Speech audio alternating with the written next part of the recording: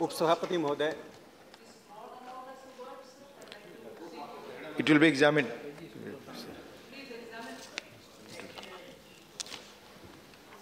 उपसभापति महोदय जब हम जम्मू कश्मीर के बजट के ऊपर आज बहस कर रहे हैं और मैं विपक्ष के नेता को सुन रहा था उन्होंने एक बात की हिदायत दी कि हम पुराने विवादों को ना आज छेड़ें लेकिन ऐसा करते करते हुए उन सब बातों को कह गए। और कांग्रेस के शासन में जो कमियाँ थी उसको छिपाने की की जितनी कोशिशें हैं, वे करते रहे। मैं स्वयं उन विवादों में नहीं जाना चाहता हूँ, लेकिन इस देश की जनता को जानना और समझना पड़ेगा कि 5 अगस्त 2019 के बाद जो जम्मू कश्मीर की फिजा में परिवर्तन हुआ, परिवर्तन असाधारण परिवर्तन है। 370 का जाना सिर्फ़ कॉन्स्टिट्यूशनल ट्रांसफॉर्मेशन ही नहीं है। जम्मू कश्मीर के इतिहास में 370 का जाना तीन क्रांति का द्योतक है। पहली क्रांति सामाजिक क्रांति है। यह मैं इसलिए कह रहा हूँ उस राज्य में लगभग 30 प्रतिशत ओबीसी के लोग रहते हैं जिनका अब तक कोई काउंटिंग नहीं हुई। 10 से 12 प्रतिशत शेड्यूल ट्राइब के लोग रहते हैं जिनको कोई रिजर्वेशन नहीं मिलता था। शेड्यूल कास्ट के लोगों को सिर्फ़ दो प्रतिशत रिजर्वेशन मिलता था। पहली बार जीडी न्यायाधीश जीडी रिटायर्ड न्यायाधीश। जीडी शर्मा जी की दो प्रतिशत I'm sorry. मैं बताता हूँ आंकड़े। दस परसेंट। मैं आंकड़े बताता हूँ आप। तो मैं मैं- आंकड़े पे आता हूँ। मैं मैं जो कह मैं पॉलिटिकल रिजर्वेशन की बात मैं राजनीतिक रिजर्वेशन की बात कर रहा हूँ। आप आप आप Rakesh ji please address please हमारे आपके बीच जो दूरी है वो कमी अब दूरी में समाप्त करने जा रहा हूँ। उपसभापति महोदय पहली बार एक बैकवर्ड कमीशन की स्थापना हुई है जिस रिजर्वेशन की बात हमारे विपक्ष के नेता कह रहे थे उस रिजर्वेशन के लिए schedule caste, schedule tribe, OBC और अन्य जो हाशिए के लोग हैं, उनको रिजर्वेशन देने की मॉडलिटी तय करने के लिए सेवानिवृत्त न्यायाधीश श्री जी डी शर्मा जी के नेतृत्व में पहली बार बैकवर्ड कमीशन की स्थापना भारत सरकार ने जम्मू कश्मीर सरकार ने की है। मैं पूछना चाहता हूँ कि शेड्यूल ट्राइब, शेड्यूल कास्ट और ओबीसी को रिजर्वेशन जिस तरह से अन्य राज्यों में मिलता है उस आधार पर रिजर्वेशन क्यों नहीं मिले? और कांग्रेस पार्टी ने कभी भी एसटी, एससी और ओबीसी को वह सम्मान नहीं दिया, वह अवसर नहीं दिया जो अन्य राज्यों में मिलता था, कांग्रेस पार्टी को देश को जवाब देना पड़ेगा। 5 अगस्त 2019 के बाद इस स्थिति को सरकार ने बदल दिया। मैंने सामाजिक क्रांति की बात कही थी। जम्मू कश्मीर में तीन हज़ार रिफ्यूजी, जो पाकिस्तान से आए थे। हमारे विपक्ष के नेता को जानना पड़ेगा, उन्हें बताना पड़ेगा कि तीन हज़ार रिफ्यूजी को समान अधिकार क्यों नहीं प्राप्त थे। उन्होंने ऐसी कौन सी गलती की थी? उन्हें जम्मू कश्मीर के चुनाव में मत देने का अधिकार क्यों नहीं था? 370 के जाने के बाद उनको वह अधिकार दिया गया। 370 के जाने के बाद जो दूसरी क्रांति हुई, उसको मैं कहता हूँ डेमोक्रेटिक रिवॉल्यूशन। सामाजिक क्रांति के बाद एक जनतांत्रिक क्रांति हुई। हम सब जानते हैं जम्मू कश्मीर के लोकतंत्र का मतलब क्या था? उस लोकतंत्र का जो तात्पर्य था, मुट्ठी भर परिवार और मुट्ठी भर जम्मू कश्मीर के कुलीन। क्या यह बात दुनिया से छिपी हुई है? कुछ परिवारों ने, कुछ नेताओं ने जम्मू कश्मीर के लोकतंत्र को बंधक बना लिया था। चुनाव ही लोकतंत्र नहीं है। चुनाव लोकतंत्र का एक साधन मात्र है। This is a tool for a democracy चुनाव के द्वारा तो स्टालिन भी जीत कर आता था। चुनाव के द्वारा तो हिटलर भी जीत कर जर्मनी में आया था। वास्तव में लोकतंत्र का तात्पर्य होता है इंपावरमेंट ऑफ़ द पीपुल लोगों की सशक्तिकरण करना, यह लोकतंत्र का मूल अर्थ होता है। वह लोकतंत्र का सशक्तिकरण कैसे हुआ? विपक्ष के नेता ने बड़े आसानी से कहा कि हम सब रीजनल पार्टी हैं। हम जम्मू में भी हैं, लद्दाख में भी हैं और ब्लॉक डेवलपमेंट काउंसिल के चुनाव में हमारे, हमें इक्यासी सीटें मिली हैं 217 सीटें इंडिपेंडेंट्स को मिले हैं, इक्यासी सीटों पर भारतीय जनता पार्टी जीती हैं, आठ सीटों पर पैंथर्स पार्टी जीती हैं और दूसरी बात मैं बताना चाहता हूँ। ब्लॉक डेवलपमेंट काउंसिल के चुनाव में जो यह भ्रम फैलाने की कोशिश हो रही है कि चार वोट, तीन vote 98 percent voting block development council के चुनाव में हुआ है। आज की सूचना के तंत्र की दुनिया में किसी व्यक्ति को बरगलाया नहीं जा सकता है और सदन में कम से कम ऐसी बातें नहीं करनी चाहिए। जिससे आम लोगों को और दुनिया के भारत से बाहर बैठे हुए यूरोपियन यूनियन में भारत विरोधी कुछ सीनेटर्स को, कुछ हाउस ऑफ़ रिप्रेजेंटेटिव्स में बैठे हुए लोगों को यह संदेश जाए कि जम्मू कश्मीर लोकतंत्र नहीं है। हमारी हार या आपकी हार लोकतंत्र की हार नहीं होती है। यह जनता की जीत लोकतंत्र की जीत होती है। जम्मू कश्मीर में हमने डेमोक्रेटिक रिवॉल्यूशन लाने का काम किया है। तीसरा महत्वपूर्ण परिवर्तन हुआ है। 370 के जाने के बाद एक इकोनॉमिक रिवॉल्यूशन हुआ है। आर्थिक क्रांति हुई है। वो आर्थिक क्रांति क्या है? मैं पुरानी बातों में जाना नहीं चाहता हूँ। लेकिन माननीय गुलाम नबी आज़ाद जी की बातों को सुनकर मुझे एक बात की चर्चा तो करनी ही पड़ेगी, जिसके वे स्वयं भी गवाह रहे हैं। जब राज्यपाल का शासन था तो हमने एक रोशनी एक्ट को समाप्त कर दिया था। इसकी चर्चा मैंने पिछली बार भी जम्मू कश्मीर पर बहस के दौरान भाषण में किया था। यह रोशनी एक्ट जम्मू कश्मीर में पावर प्रोजेक्ट के रूप में लाने के लिए धन संग्रह का एक तरीका था।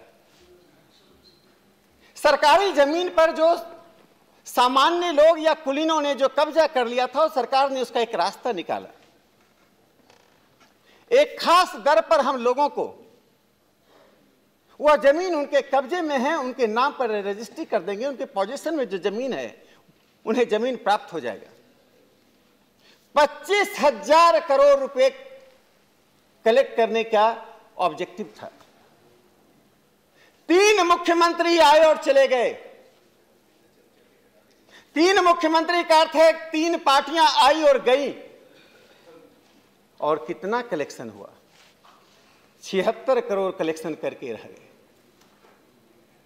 पच्चीस हज़ार करोड़ इकट्ठा करके जम्मू कश्मीर में अनधिकृत ज़मीन को वास्तव में देकर उस पैसे से जम्मू कश्मीर में बिजली का बल्ब जलाने की जो योजना थी, वो लालटेन तक ही रख दिया गया।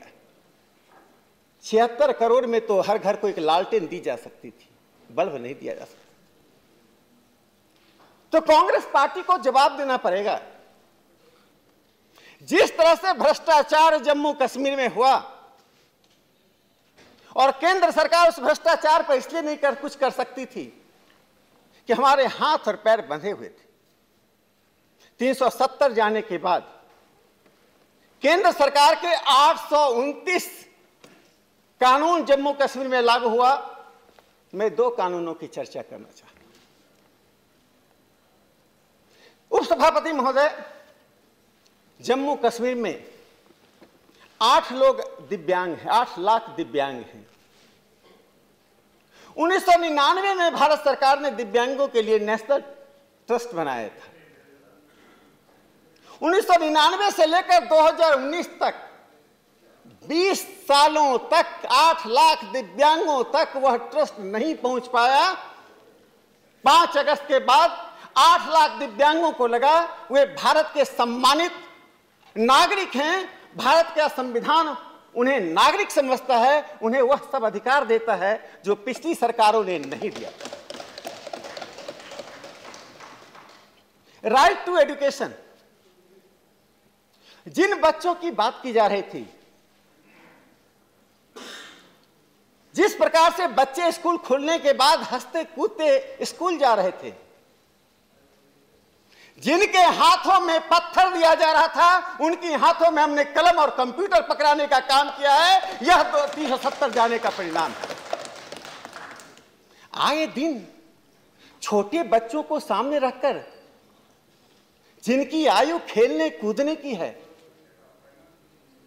जिनकी आयु कविता और कहानी पढ़ने की है जिनकी आयु कहानियाँ पढ़ने की है, उनसे हम राजनीतिज्ञ, सिर्फ़ अपना हित साधने के लिए उनको ट्रोजन हॉर्स बना रहे थे। उपसभापति महोदय, दुनिया के इतिहास में ऐसा नहीं हुआ है। कहीं तालिबानियों ने किया होगा और क्या है लेकिन भारत के इतिहास के लिए वो शर्मसार दिन था जब बच्चों को सामने रखकर पत्थर फेंकवाते थे और कहते थे सुरक्षा कर्मियों को अब तुम कार्रवाई नहीं कर सकते ये आर्थिक क्रांति क्यों हुई मैं उसका, उसका एक और उदाहरण देना चाहता हूँ। जम्मू कश्मीर के किसान जम्मू कश्मीर के जीडीपी में सेव का आठ परसेंट योगदान है लेकिन सेव के साथ वहाँ मक्का भी होता है। वहाँ धान भी होती है, वहाँ सब्ज़ियाँ भी होती है। मैं अपने कांग्रेस के मित्रों को कुछ आंकड़े देना चाहता हूँ, और पूरे देश को समझना पड़ेगा कि उन आंकड़ों का तात्पर्य क्या है। भारत सरकार ने 370 हटाया, देश के हित में वह हित किसानों का हित था, वह आर्थिक क्रांति का हिस्सा था। वो मैं कुछ आंकड़े देता हूँ। मक्का का उत्पादन में 10 से 12 क्विंटल मक्का का उत्पादन होता था। अब जो हस्तक्षेप हुआ है, वह उत्पादन बढ़कर 25 से 30 क्विंटल पर हेक्टेयर हो गया। मक्के का दर सोलह सौ रुपये क्विंटल था, जो सोलह हज़ार रुपये पर मिलता था उन्हें पर हेक्टेयर। अब छब्बीस हज़ार पाँच सौ छब्बीस हज़ार पाँच सौ रुपये मिल रहा है। मुझे समझ में नहीं आती है जब देश में रोशनी आती है तो कांग्रेस को अंधकार क्यों नज़र आता है? और जब देश में अंधकार होता है तो कांग्रेस को रोशनी नज़र आती है। जब भी मैं कोई विकास की बात करता हूँ तो कांग्रेस को ऐसा लगता है ऐसा कैसे हो सकता है?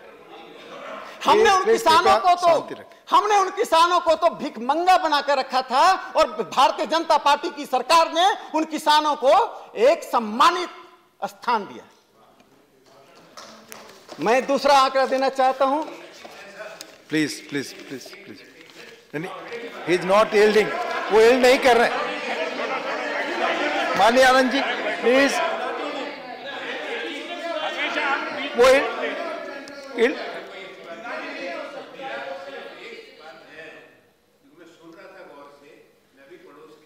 पहाड़ी राज्य से हूँ हमारे यहाँ भी मक्का का उत्पादन होता है और ये वित्त राज्य मंत्री भी वहीं से हैं अनुराग ठाकुर जी भी।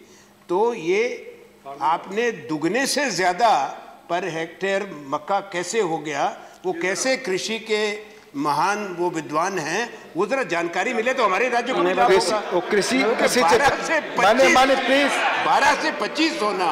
प्लीज़ माननीय सदस्यों से आग्रह प्लीज़ ये डिस्कशन चले जाए कोई बात और रिकॉर्ड पे नहीं जाएगी। कोई और बात रिकॉर्ड पे नहीं जाएगी। जब जब जब विपक्ष के नेता बोल रहे थे जब विपक्ष के नेता बोल रहे थे किया गया मैं इसलिए माननीय सदस्य मेरे राज्य से आते हैं और इन्हीं की पार्टी के एक पूर्व मुख्यमंत्री जानते हैं कैसे सेबों की कमाई भी दस गुना ज़्यादा हो जाती है। तो मुझे लगता है उस दिशा में ना जाएँ। प्लीज़ हाँ। बताए। राकेश प्लीज़। धान की खेती की बात मैं करना चाहता हूँ। प्लीज़ कोई बात रिकॉर्ड से एक सौ अस्सी से एक सौ क्विंटल पर हेक्टेयर और दाम एक हज़ार रुपये पर क्विंटल।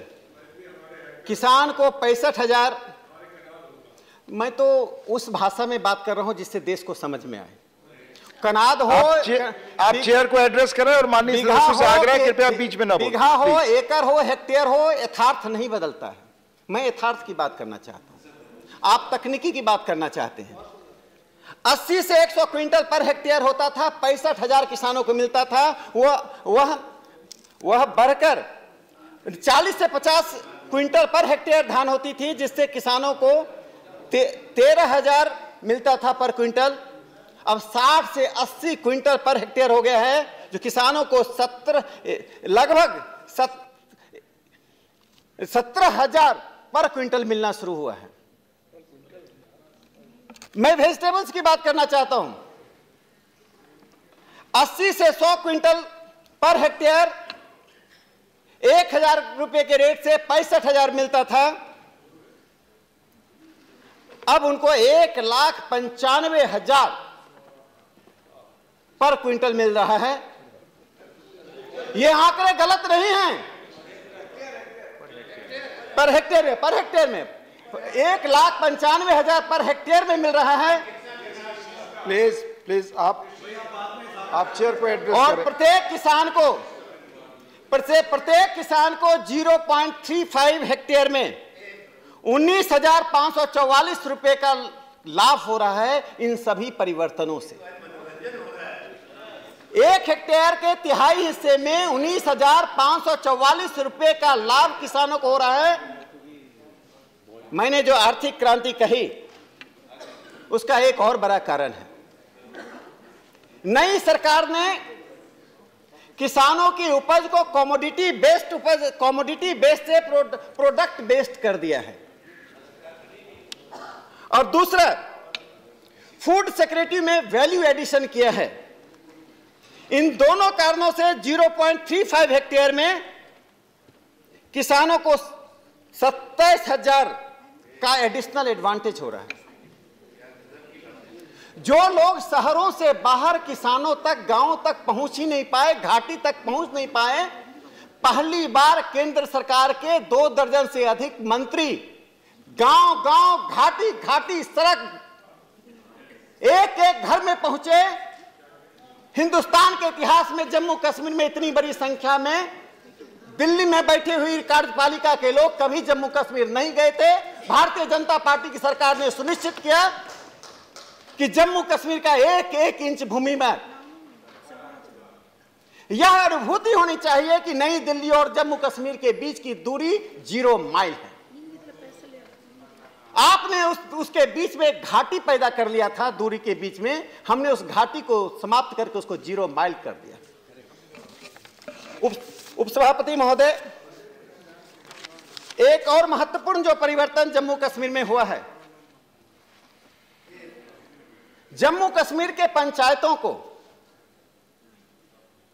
आज लगभग 2000 करोड़ से अधिक रुपए यानी 20 लाख से एक करोड़ का फंड पंचायतों की सीमा उनकी जनसंख्या के अनुसार दी जा रही है, जो डायरेक्ट ट्रांसफ़र हो रहा है। जो शहरी क्षेत्र के लोकल सेल्फ इंस्टीट्यूशंस हैं, उनको लगभग एक हज़ार करोड़ रुपया दिया जा रहा है।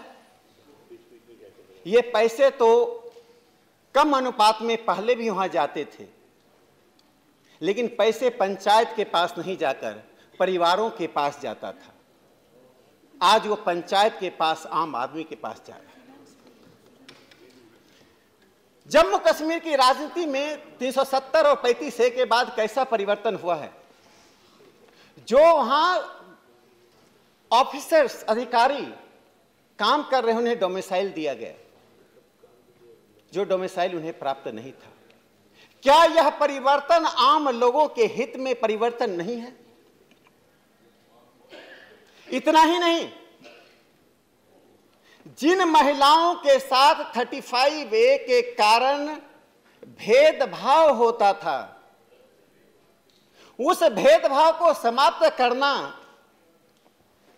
जनहितकारी है या जन विरोधी है? पूरी दुनिया में जेंडर इक्वलिटी की बात करने वाले लोग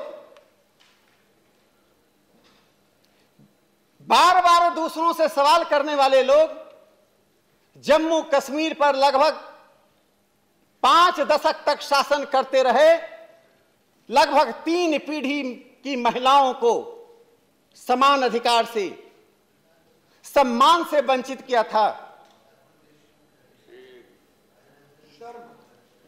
मैंने पिछले भाषण में एक और ज़िक्र किया था। महाभारत में जिस व्यक्ति का अंगूठा काटा गया था, वाल्मीकि समाज के लोगों को पंजाब से इसलिए लाया गया था कि जम्मू कश्मीर में सफ़ाई कर्मचारियों के हड़ताल के कारण वहाँ सफ़ाई कर्मचारी नहीं थे। उनको आश्वासन देकर लाया गया था कि आप आइए आपको हम अधिकार देंगे, सम्मान देंगे। लेकिन वह एकलव्य महाभारत का और उसी एकलव्य नाम का लड़का पोस्ट ग्रेजुएट करता है। पॉलिटिकल साइंस में पोस्ट ग्रेजुएट करता है।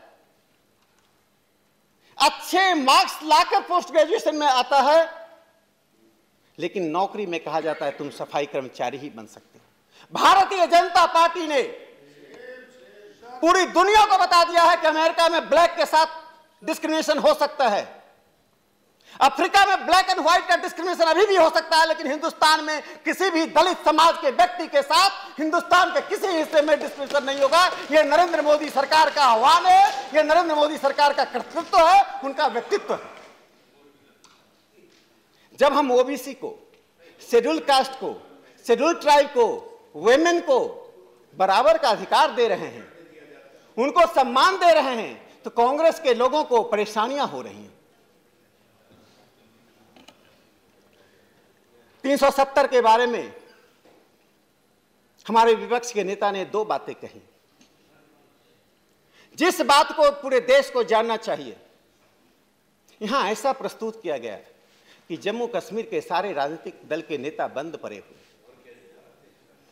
जम्मू कश्मीर के विधानसभा में जो एमएलए 2004 में थे 2008 में थे, उसके चुनाव के बाद थे, सभी विधायकों की सूची ले लीजिए जो पूर्व विधायक हैं। 98 परसेंट लोग सड़कों पे, गलियों में, सभाओं में, होटलों में उन्मुक्त घूम रहे हैं। बंद कौन हैं? जो हैबिचुअल ऑफेंडर्स हैं चाहे आवाज़ से या पत्थर उठाने वाले जो हैबिचुअल ऑफेंडर्स हैं 500 से अधिक लोग बंद नहीं हैं मैं अधिकांश हैबिचुअल ऑफेंडर्स की बात कर रहा हूँ जो बार बार कहते हैं कि पाक पाक जो बार बार कहते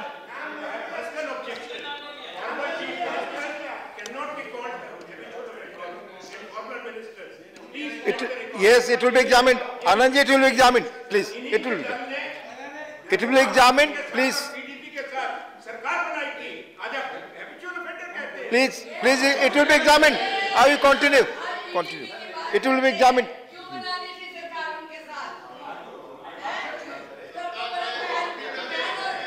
दोनों वाक्यों को एक करके पढ़ रहे हैं वो नहीं पढ़ना चाहिए। देखिए अलग अलग भाषा के